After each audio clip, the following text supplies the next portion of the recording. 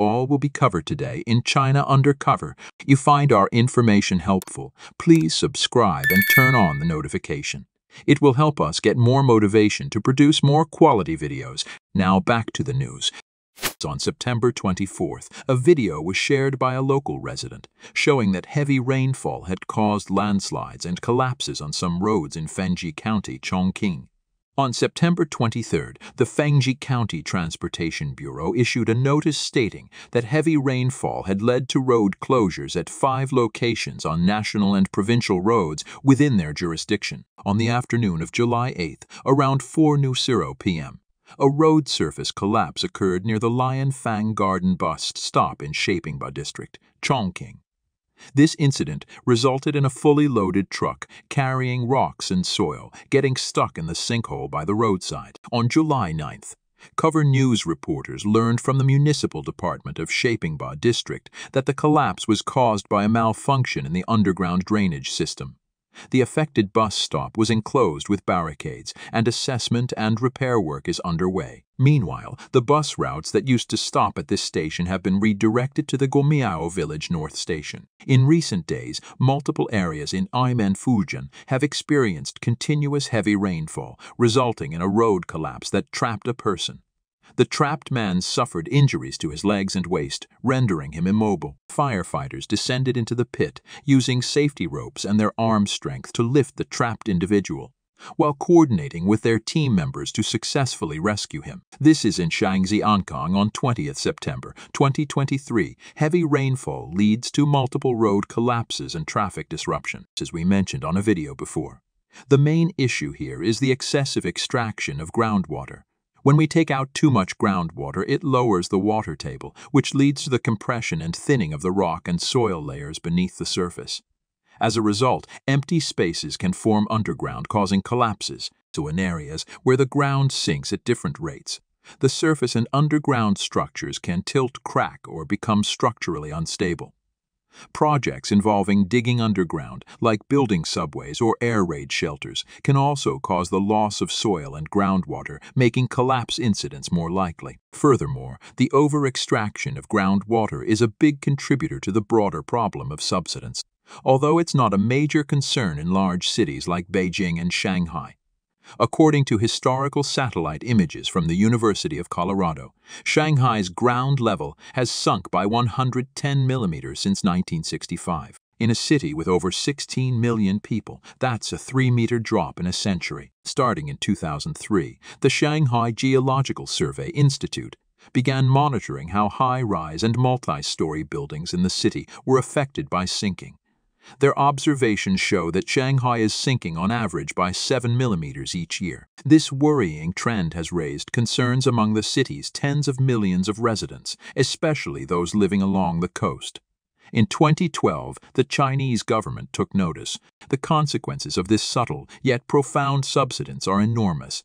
It includes the sinking of tall buildings, disruptions and failures in urban drainage systems, and reduced flood control capacity. Your uneven ground settling can lead to the sinking or cracking of building foundations, causing underground structures to lean towards water and oil wells, potentially resulting in fractures and destruction. Moreover, this phenomenon damages linear infrastructure projects such as railways, water and oil pipelines, bridges, and communication networks. Professor Long Di, an expert from the Department of Hydraulic Engineering at Tsinghua University, emphasized in a recent media interview that regions with excessive groundwater extraction face natural and life-threatening hazards. As groundwater levels continue to drop, the soil contracts, much like a squeezed sponge, leading to surface collapses and subsidence. This uneven subsidence can result in deformation, displacement, and even fractures in roads and bridges.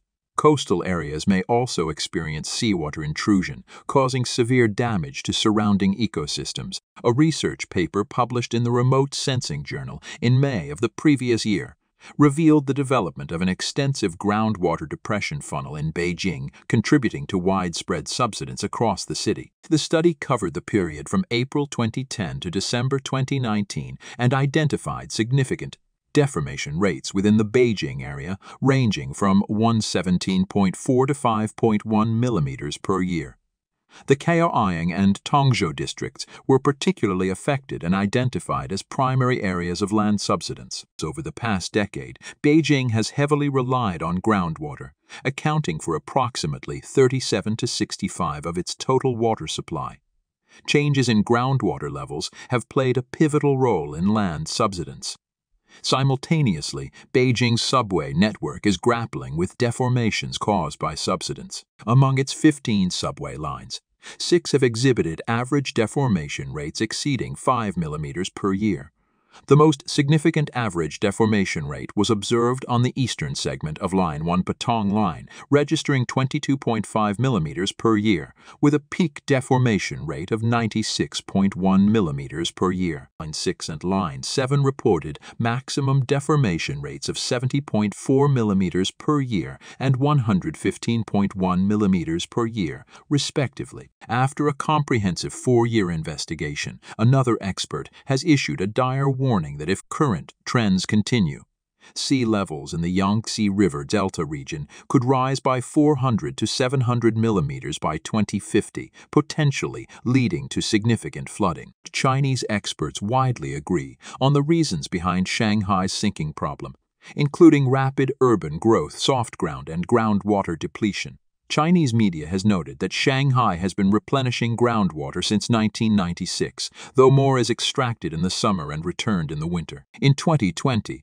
approximately 1.5 million cubic meters of groundwater were extracted, while a substantial 18.1 million cubic meters were replenished.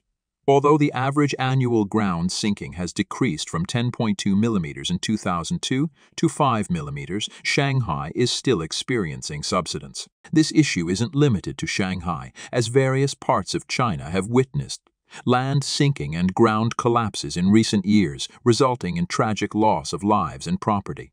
In one incident, a deep hole suddenly appeared in a plaza, swallowing and trapping 21 parked cars nearby. A crane was needed to rescue 15 of these cars. As the hole filled with water, a significant amount rushed out onto the street surface.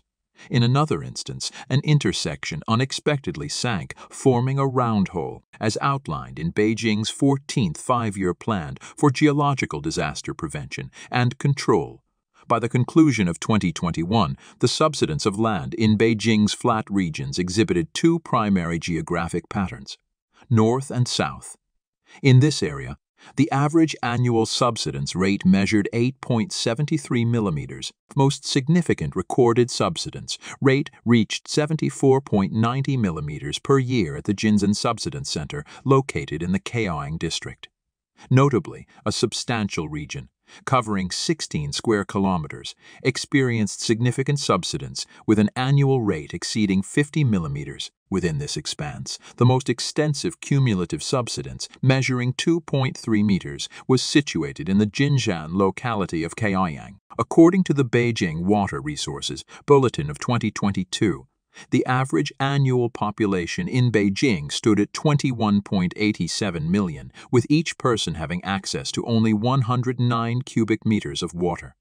This falls significantly below the globally recognized critical water scarcity threshold of 500 cubic meters. Currently, Beijing's annual total water consumption nearly doubles the total available water resources, putting the city in a state of excessive groundwater usage. While the water shortage situation has somewhat improved with the initiation of the South to North Water Diversion Project, which began supplying water to Beijing in 2014, and the pace of groundwater level decline has slowed down, the city still grapples with issues of overextraction. The fundamental challenge of water shortage in Beijing remains unresolved. The water scarcity problem in Beijing can be attributed to two primary factors. Firstly, the rapid growth of the urban population has led to increased water demand for various purposes. Secondly, human activities, including the mismanagement of water resources by the Chinese Communist Party to in the Beijing region, have also played a role as the political epicenter of China. Beijing has been the CCP's primary focus, resulting in the concentration of the country's most valuable social resources in the city. This focus has often meant that the interests of other provinces and cities have been overlooked in favor of supplying resources to Beijing. For instance, Beijing boasts advanced medical, educational, and infrastructure facilities compared to the national average.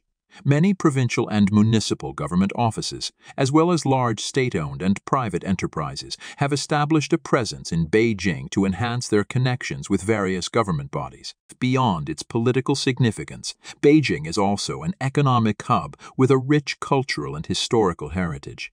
It offers greater development opportunities compared to other regions, attracting people from across the country in pursuit of success. This influx of people has led to a surge in Beijing's population, driving up housing demand and significantly increasing the value of Beijing's household registration, known as hukou. By the end of 2022, Beijing's permanent resident population had reached 21.84 million, marking a 53 increase over two decades. The population boom in Beijing has spurred a substantial demand for housing. To meet this demand, the city government has engaged in land sales and imposed various taxes and fees, resulting in significant financial burdens on the public. Land sales revenue consistently contributes around 40 of the city's total fiscal income between 2017 and 2021. Beijing's land sales generated a staggering 1.5 trillion yuan, Economist Ren Zeping conducted a study in 2020 on housing prices in major cities, including Beijing and Shanghai.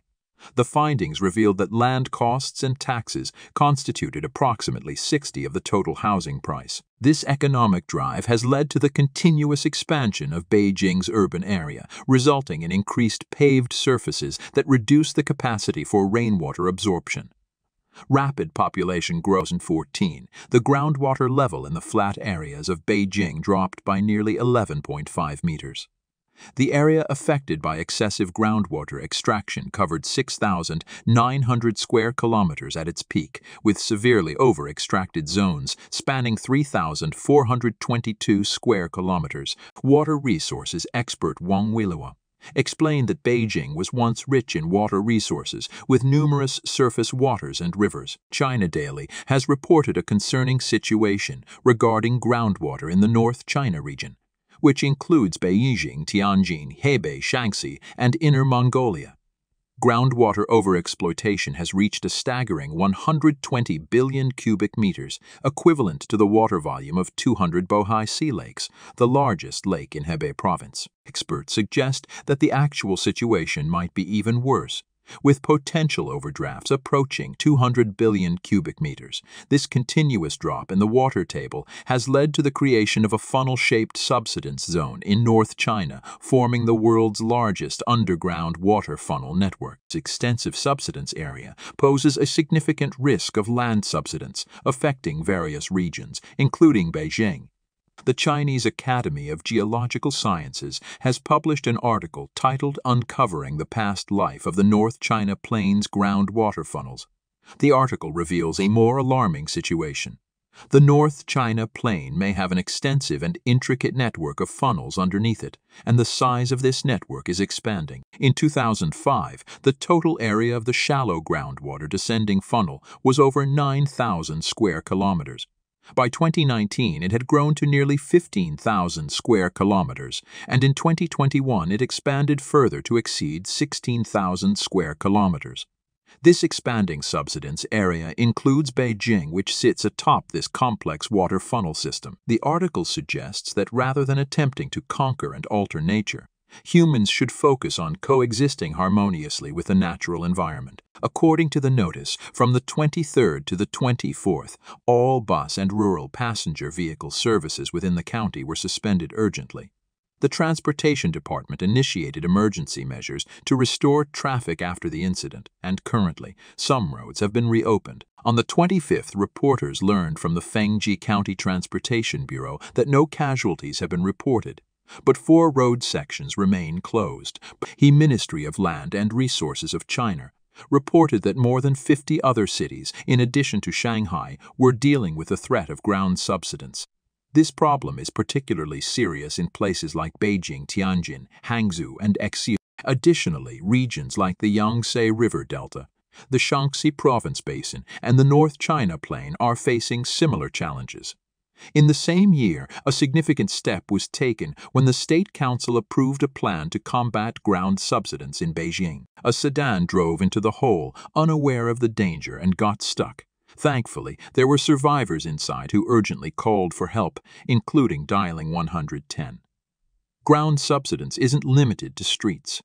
It can even occur within homes. A shocking surveillance video captures a man sitting in a chair when suddenly the floor shakes and a sizable hole opens up. The man reacts quickly, stepping onto the edge of the hole and propelling himself backward to safety, narrowly avoiding a potentially tragic fall. Historically, Beijing heavily relied on groundwater as its primary water source, with more than half of its water supply sourced underground. Professor Lai Guiping, the vice dean of Peking University's School of Government, explained to KXIN reporters that excessive groundwater extraction leads to a substantial drop in the groundwater level. Between 1999 and 2013, the average annual groundwater level in Beijing decreased by one meter. As the water level drops to a certain point, it triggers land subsidence. In the past, there was an intricate network of waterways connecting the inner and outer parts of Beijing. However, human activities, such as the construction of reservoirs and increased water surface areas, contributed to significant water evaporation. This, coupled with reduced inflow from upstream sources, has strained Beijing's water supply. And that is today's episode. If you found this video informative, please subscribe and ring a bell to get notification. Thank you for watching and see you next time.